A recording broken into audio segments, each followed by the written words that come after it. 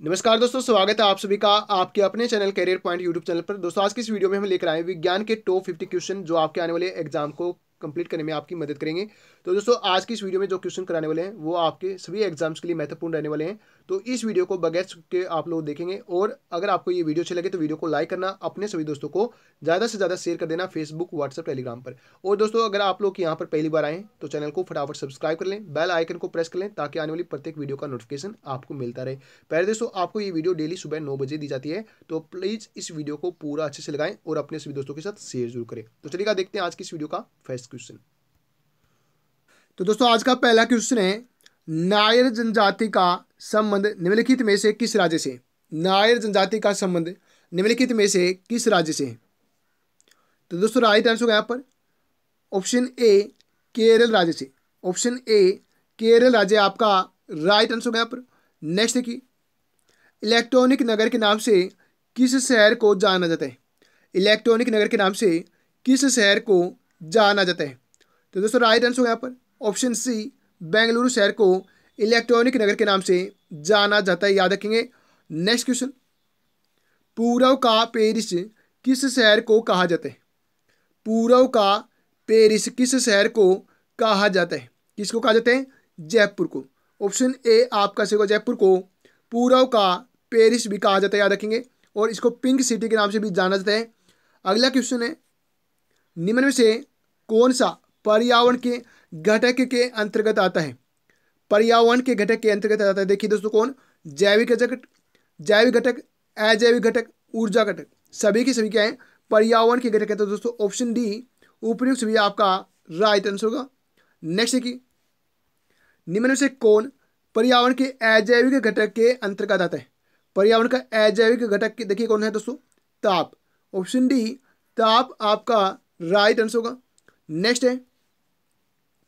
पारिस्थितिकी शब्द का प्रयोग सबसे पहले किसने किया था? पारिस्थितिकी शब्द का प्रयोग सबसे पहले किसने किया? किसने किया? तो दोस्तों, अर्नेस्ट हेकल ने किया। ऑप्शन ए आपका, अर्नेस्ट हेकल यहाँ पर राइट आंसर होगा। नेक्स्ट देखिएगा। निम्न से किसने सबसे पहले पारिस्थितिकी तंत्र शब्द का प्रयोग किया था? सबसे पहले पारिस्थितिकी तंत्र शब्द का प्रयोग किसने किया? किसने किया? तो दोस्तों ए जी टांसले ने ऑप्शन बी आपका ए जी टांसले यहाँ पर राइट आंसर होगा। नेक्स्ट देखिए, पारिस्थितिकी तंत्र के उस घटक का जो अपना भोजन स्वयं उत्पादित करते हैं, उसे क्या कहते हैं? जो अपना भोजन स्वयं उत्पादित करते हैं, उसको क्या कहते हैं? तो दोस्तों, क्या कहते हैं? उत्पादक वर्ग कहते हैं। ऑप्शन सी आपका राइट आंसर होगा यहाँ पर। नेक्स्ट देखिएगा। पर्यावरण के अध्ययन के संदर्भ में सीई आर किसको संदर्भित करता है? सी ई आर किसको संदर्भित करता है दोस्तों? ऑप्शन ए आपका जगह पर certified emission reduction option A आपका सही आंसर होगा पर। नेक्स्ट देखिएगा। दोस्तों अगर आपने अभी तक वीडियो को लाइक नहीं किया तो सबसे पहले आप लोग वीडियो को लाइक और शेयर करेंगे अपने सभी दोस्तों के साथ। नेक्स्ट क्वेश्चन आपके लिए वैसे जीव जो, जो मृत जीवों के अवशेषों से अपना जीवन यापन करते हैं इनमें मुख्य रूप से जीवाणु कवक आदि आते हैं। किस वर्ग के अंतर्गत रखे जाते हैं? तो दोस्तों देखिएगा राइट आंसर यहाँ पर ऑप्शन बी अप घटक के वर्ग के अंतर्गत। ऑप्शन बी अप घटक आपका राइट आंसर होगा। नेक्स्ट देखिए, वे प्रदूषक पदार्थ जो लंबे समय तक पर्यावरण में बने रहते हैं, तथा सूक्ष्म जीवों द्वारा अपघटित नहीं होते, वो क्या कहलाते हैं? क्या कहलाते हैं दोस्तों? तो दोस्तों राइट आंसर यहाँ पर ऑप्शन सी आपका निम्नकरणीय पदार्थ और अनिम्नकरणीय पदार्थ कहलाते हैं, याद रखेंगे। ऑप्शन सी आपका राइट आंसर होगा। नेक्स्ट देखिएगा। निम्न से कौन सा प्रदूषण का निम्नीकरणीय प्रकार है? प्रदूषण का निम्नीकरणीय प्रकार क्या है? क्या है दोस्तों? कपड़ा। ऑप्शन डी कपड़ा आपका राइट आंसर होगा पर। नेक्स्ट देखिए। निम्न से कौन सा वायु प्रदूषण का लक्षण है? वायु प्रदूषण का लक्षण है। तो कौन सा है? श्वसन तंत्र की बीमारी, दमा, ब्रांकिटिस। ये सभी क्या है? वायु प्रदूषण के लक्षण है। ऑप्शन डी आपका उपरोक्त यहाँ पर राइट आंसर होगा। नेक्स्ट देखिए, जल में किस प्रदूषण की उपस्थिति से मीना मातक बीमारी होती जल में किस प्रदूषण की उपस्थिति से मीना मातक की बीमारी होती है? तो दोस्तों राइट आंसर होगा यहाँ पर ऑप्शन सी पारा। पारा की उपस्थिति से मीना माता की बीमारी होती याद रखेंगे। नेक्स्ट देखिएगा। जल में कैडमियम की अधिकता से कौन सी बीमारी होती है? जल में कैडमियम की अधिकता से कौन सी बीमारी होती है? तो दोस्तों, इटाई इटाई।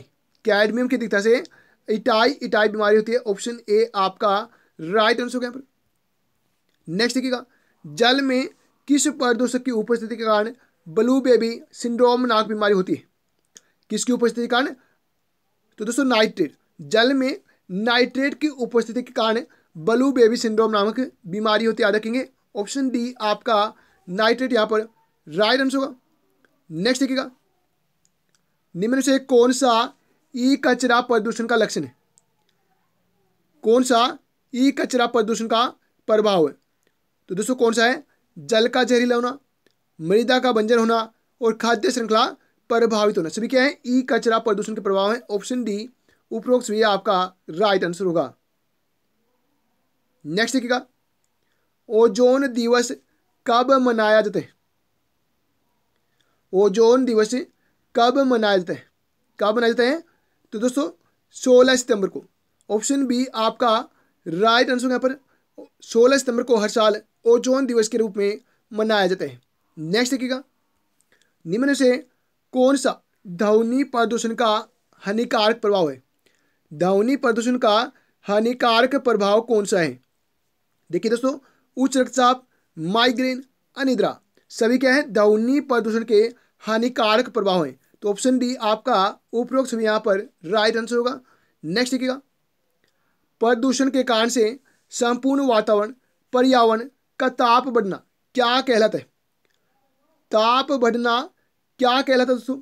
ग्लोबल वार्मिंग कहलाता है, याद रखेंगे। ऑप्शन ए ग्लोबल वार्मिंग आपका राइट आंसर होगा। नेक्स्ट देखिएगा। वातावरण में कार्बन डाइऑक्साइड की वृद्धि निम्न कारणों में से किसके कारण होती?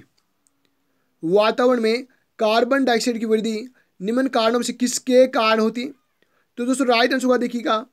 जीवाश्म ईंधनों के ज़्यादा इस्तेमाल से वनों की कटाई और वाहनों की संख्या में वृद्धि। सभी क्या हैं? वायु में, वातावरण में carbon dioxide C O two की अधिकता के कारण है। तो ऑप्शन सी आपका एक, दो और तीन। तीनों आपके राइट आंसर होगा यहाँ पर। नेक्स्ट देखिएगा।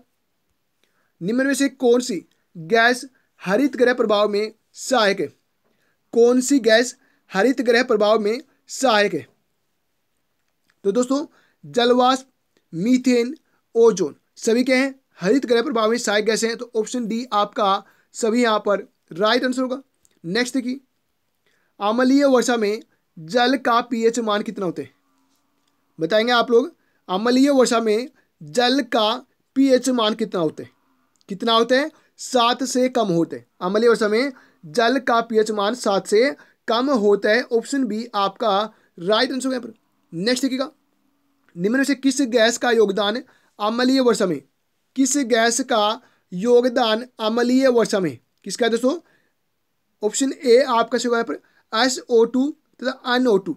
Option A आपका यहाँ पर राइट आंसर होगा। नेक्स्ट देखिएगा। वायुमंडल की, किस परत में ओजोन सतह पाई जाती है? ओजोन सतह। दोस्तों, ये सूर्य की प्राबैंगनों किरणों को प्रावर्तित करती है। और दोस्तों, याद रखिएगा, इसके अंदर जो गैस पाई जाती है, वो केवल और केवल ऑक्सीजन गैस पाई जाती है। ये आप लोग याद रखेंगे।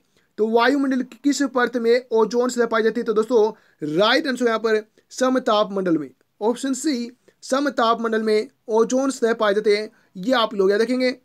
नेक्स्ट है, ओजोन शरण होते हैं। ओजोन शरण किस से होते हैं? बताएँगे आप लोग।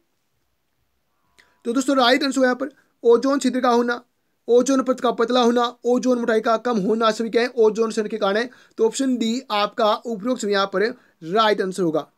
नेक्स्ट देखिएगा। वायु की कौन सी सतह पृथ्वी पर प्राबैंगनी किरणों को आने से रोकती है। वायु की कौन सी सतह जो पृथ्वी पर प्राबैंगनी किरणों को आने से रोकती है? कौन सी सतह तो दोस्तों राइट आंसर यहाँ पर ऑप्शन बी ओजोन सतह ओजोन सतह जो है वो प्रावैंगनिक किरणों को आने से रोकती है, याद रखेंगे ऑप्शन बी आपका सही आंसर होगा। नेक्स्ट देखिएगा, विक्रम साराभाई स्पेस सेंटर कहाँ पर है?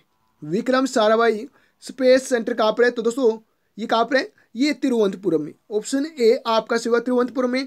इसकी स्थापना कब की गई? तो दोस्तों, उन्नीस में तिरुवनंतपुरम में विक्रम साराभाई स्पेस सेंटर की स्थापना की गई 1963 में। नेक्स्ट देखिए, कवकों का अध्ययन क्या कहलाते हैं? कवकों का अध्ययन क्या कहते हैं? तो दोस्तों माइकोलॉजी ऑप्शन ए माइकोलॉजी आपका राइट आंसर होगा। नेक्स्ट देखिएगा, सिक्कों का अध्ययन क्या कहलाते हैं? सिक्कों का अध्ययन क्या कहलाता है दोस्तों? चलिए देखिए न्यूमिसमैटिक ऑप्शन डी आपका न्यूमिसमैटिक यहाँ पर राइट आंसर होगा। नेक्स्ट देखिएगा सेलुलर और मोलिकुलर जीव विज्ञान केंद्र कहाँ पर स्थित है? सेलुलर और मोलिकुलर जीव विज्ञान केंद्र कहाँ पर है दोस्तों? कहाँ पर है? हैदराबाद में। ऑप्शन ए आपका हैदराबाद, यहाँ पर राइट आंसर होगा। नेक्स्ट देखिएगा। Centre for DNA fingerprint and diagnostic कहाँ पर अवस्थित है? Centre for DNA fingerprint and diagnostic कहाँ पर है? कहाँ पर दोस्तों? हैदराबाद में। ऑप्शन डी हैदराबाद आपका राइट आंसर होगा। नेक्स्ट की आधुनिक वर्गीकरण का पिता किसे कहा जाता है? आधुनिक वर्गीकरण का पिता किसे कहा जाता है? किसे कहा जाता है? तो दोस्तों राइट आंसर यहाँ पर लीनियस को। ऑप्शन डी आपका लीनियस यहाँ पर राइट आंसर होगा। नेक्स्ट देखिएगा। कोशिका का अध्ययन क्या कहलाता है? कोशिका का अध्ययन क्या कहलाता है? क्या कहलाता है? साइटोलॉजी कहलाता है। ऑप्शन सी साइटोलॉजी आपका राइट आंसर होगा।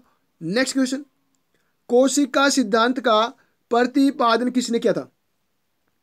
कोशिका सिद्धांत का प्रतिपादन किसने किया दोस्तों? किसने किया? स्लाइडन एवं सवान ने किया। ऑप्शन बी, स्लाइडन एवं सवान। आपका राइट आंसर होगा। नेक्स्ट की अगला क्वेश्चन है सवालों का अध्ययन क्या कहलाते हैं? बताएँगे सवालों का अध्ययन क्या कहलाते हैं? क्या कहते हैं? फाइकोलॉजी ऑप्शन ए फाइकोलॉजी आपका राइट आंसर होगा। नेक्स्ट की नेशनल केमिकल लेबोरेटरी कहाँ स्थित है? नेशनल केमिकल लेबोरेटरी कहाँ पर स्थित है? कहाँ पर है? पुणे में। ऑप्शन बी, पुणे, आपका राइट आंसर होगा। नेक्स्ट की, मलेरिया रिसर्च सेंटर कहाँ पर है? मलेरिया रिसर्च सेंटर कहाँ पर है? तो दोस्तों, दिल्ली में। ऑप्शन बी, दिल्ली, आपका राइट आंसर होगा। नेक्स्ट देखेंगे। अंगूरों का उत्पादन किससे संबंधित है? लाइक और शेयर ज़रूर करेगा दोस्तों। लाइक और शेयर ज़रूर करें। अंगूरों का उत्पादन संबंधित है किससे? तो वीटी कल्चर से। ऑप्शन डी वीटी कल्चर आपका राइट आंसर होगा। नेक्स्ट देखिएगा। नेत्र रोग का चिकित्सक क्या कहलाता है? नेत्र रोग का चिकित्सक क्या कहलाता है? तो दोस्तों राइट आंसर यहाँ पर। Option B ophthalmologist option B, आपका सही आंसर होगा नेक्स्ट है। वेटनरी रिसर्च इंस्टीट्यूट कहाँ पर स्थित है? वेटनरी रिसर्च इंस्टीट्यूट कहाँ पर है? तो कहाँ पर है? इज़्ज़त नगर में। ऑप्शन सी इज़्ज़त नगर आपका राइट आंसर यहाँ पर। नेक्स्ट क्वेश्चन किस विज्ञान में पक्षियों से संबंधित अध्ययन किया जाता है? किस विज्ञान में पक्षियों से संबंधित अध्ययन किया जाता है? तो दोस्तों ऑर्निथोलॉजी में। ऑप्शन बी आपका ऑर्निथोलॉजी यहाँ पर राइट आंसर होगा। नेक्स्ट क्वेश्चन प्लाज्मा अनुसंधान संस्थान कहाँ स्थित है? प्लाज्मा अनुसंधान संस्थान कहाँ पर है? तो दोस्तों, कहाँ पर है? गांधीनगर में ऑप्शन डी आपका सही होगा गांधीनगर। दोस्तों, ये गांधीनगर जो ये गुजरात राज्य की राजधानी आप लोग याद रखेंगे। नेक्स्ट देखिएगा राष्ट्रीय डेयरी अनुसंधान संस्थान कहाँ पर है? राष्ट्रीय डेयरी अनुसंधान संस्थान कहाँ पर है? तो दोस्तों, ये कहाँ पर? है करनाल में। करनाल दोस्तों, ये हरियाणा राज्य में याद रखेंगे और हरियाणा की जो राजधानी है, वो क्या है? चंडीगढ़, जो कि पंजाब की राजधानी है। तो ऑप्शन ए आपका करनाल यहाँ पर राइट आंसर होगा। नेक्स्ट वायरस का अध्ययन क्या कहलाते वायरस का अध्ययन क्या कहलाते हैं? क्या कहलाते हैं? वायरोलॉजी ऑप्शन ए वायरोलॉजी आपका राइट आंसर होगा यहाँ पर। नेक्स्ट की, बाबा परमाणु अनुसंधान केंद्र B A R C Bhabha atomic research centre कहाँ पर है दोस्तों। कहाँ पर है। तो दोस्तों राइट आंसर यहाँ पर ऑप्शन ए ट्राम्बे में। याद रखना बी ए आर सी की फुल फॉर्म क्या होती है? Bhabha atomic research centre Hindi में क्या होगा? बाबा परमाणु अनुसंधान केंद्र, जो कि कहाँ पर है ट्राम्बे में। नेक्स्ट देखिएगा। नेशनल ब्रेन रिसर्च सेंटर कहाँ पर है। नेशनल ब्रेन रिसर्च सेंटर कहाँ पर है। कहाँ पर है दोस्तों। राइट आंसर यहाँ पर बिल्कुल बिल्कुल दोस्तों ऑप्शन बी गुड़गांव में। गुड़गांव का नया नाम क्या रखा गया? गुरुग्राम। याद रखना दोस्तों, नया नाम क्या है? गुरुग्राम नाम है नया, और ये भी कहाँ पर है? हरियाणा राज्य में दोस्तों, याद रखना। ठीक है, कहाँ पर है? हरियाणा राज्य में। तो ऑप्शन बी आपका गुरुग्राम यहाँ पर राइट आंसर होगा। नेक्स्ट है, जीवों में पाए जाने वाले रोगों का अध्ययन क्या कहलाता है? जीवों में पाए जाने वाले रोगों का अध्ययन क्या कहलाता है दोस्तों? पैथोलॉजी। ऑप्शन ए पैथोलॉजी आपका राइट आंसर होगा। नेक्स्ट देखिएगा। कीटों से संबंधित विज्ञान की शाखा क्या कहलाती? कीटों से संबंधित विज्ञान की शाखा क्या कहलाती? तो देखिए क्या कहलाती है? तो दोस्तों एंटोमोलॉजी ऑप्शन ए एंटोमोलॉजी आपका राइट आंसर होगा पर। नेक्स्ट देखिए और आज का लास्ट क्वेश्चन जीव विज्ञान शब्द का प्रयोग सबसे पहले किसने किया? जीव विज्ञान शब्द का प्रयोग सबसे पहले किसने किया? तो दोस्तों, किसने? लेमार्क और ट्रेविलियस ने। जीव विज्ञान शब्द का प्रयोग सबसे पहले लेमार्क एवं ट्रेविलियस के द्वारा किया गया। तो ऑप्शन बी आपका सही आंसर का। तो दोस्तों, ये सेशन आज का, यहीं पे कंप्लीट होता है। अगर आपको वीडियो अच्छी लगी तो प्लीज़ वीडियो को लाइक और शेयर ज़रूर करें। और दोस्तों, जो भी चैनल पे नए चैनल को सब्सक्राइब करिए और कमेंट करके बताइएगा दोस्तों, आपको ये वीडियो कैसी लगी। तो दोस्तों, मिलते हैं नेक्स्ट वीडियो में। तब तक गुड बाय टेक केयर जय हिंद, जय भारत, वंदे मातरम।